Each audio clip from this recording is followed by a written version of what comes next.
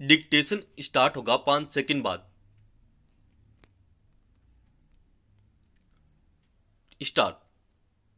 महिला अधिकारों की लड़ाई अब नई नहीं रह गई है। फिर भी अजीबोगरीब तर्क देकर महिलाओं को उनके अधिकारों से वंचित रखने की कुचेष्टा जारी है। भारतीय तट रक्षक बल ने सुप्रीम कोर्ट को बताया है कि महिलाओं को स्थायी कमीशन नहीं दिया जा सकता, क्योंकि ऐसा करने से पहले जहाजों में महिलाओं की अनुकूल कई तरह के बुनियादी बदलाव करने होंगे। यह भी कहा गया कि यह बल मुख्य रूप से समुद्री सेना है, जहाँ छियासठ फ़ीसदी सेवाएँ चलती नौकाओं पर देनी होती हैं। सिर्फ़ तैतीस फ़ीसदी कर्मियों को ही तटीय इकाइयों में रखा जाता है।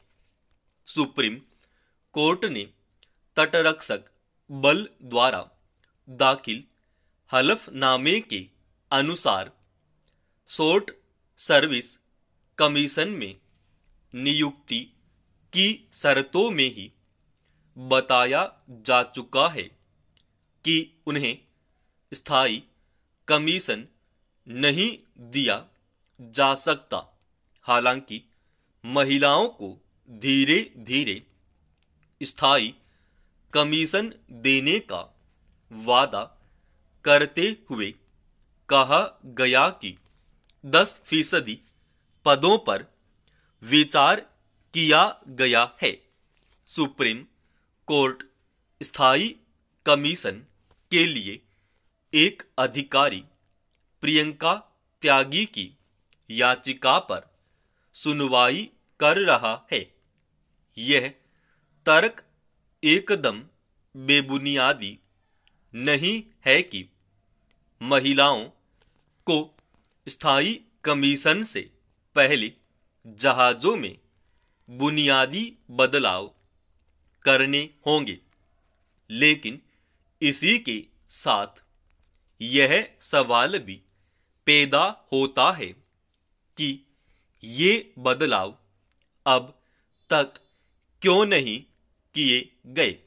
सुप्रीम कोर्ट सभी सुरक्षा बलों में महिलाओं को तवज्जो देने के इरादे से कई फैसले पहले ही कर चुका है।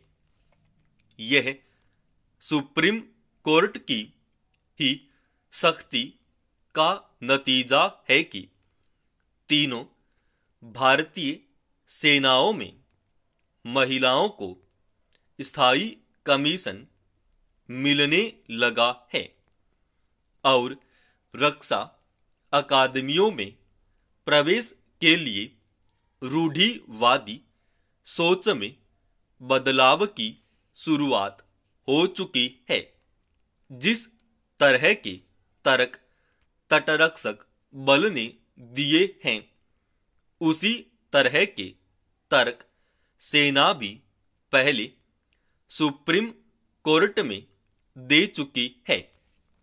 होना तो यह चाहिए था कि कोर्ट में गए बिना ही महिलाओं को उनका अधिकार मिल जाता।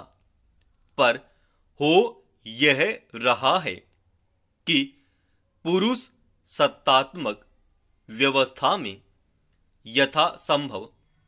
टालमटोल का रवैया अपनाया जा रहा है। बात सिर्फ़ सेना या सुरक्षा बलों की ही नहीं है। अन्य क्षेत्रों में भी अधिकारों के लिए महिलाओं को लंबी लड़ाई लड़नी पड़ सकती है। चाहे असंवैतनिक मातृत्व अवकाश का मामला हो, कार्यस्थल पर नवजात शिशु की देखभाल का सामान्य तौर पर दफ्तरों में इनकी ओर ध्यान नहीं दिया जाता है।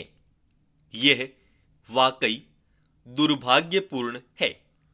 समाज को, महिलाओं और बच्चों के अनुकूल बनाए बगैर हम सभ्य नहीं हो सकते। सुप्रीम कोर्ट ने भी महिला अधिकारों की रक्षा के लिए महत्वपूर्ण कदम उठाए हैं, जिसका असर भी दिख रहा है। महिला, अधिकारों की रक्षा की जंग महिलाओं के लिए ही नहीं, समाज के विकास के लिए भी ज़रूरी है। समाप्त। दोस्तों, इस डिक्टेशन का पीडीएफ फ़ाइल अपने टेलीग्राम चैनल और वीडियो के डिस्क्रिप्शन में डाल रखा है। सो, अगर आप चाहते हैं दोस्तों रोज़ाना ऐसे डिक्टेशन और सरकारी नौकरी की अपडेट सबसे पहले पाना। तो हमारे इस चैनल को अभी सब्सक्राइब कीजिएगा।